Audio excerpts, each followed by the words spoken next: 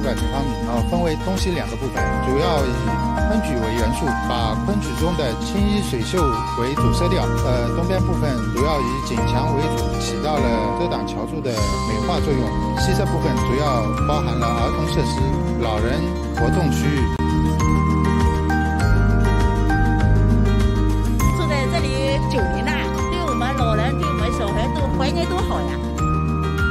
基本上每天都来的。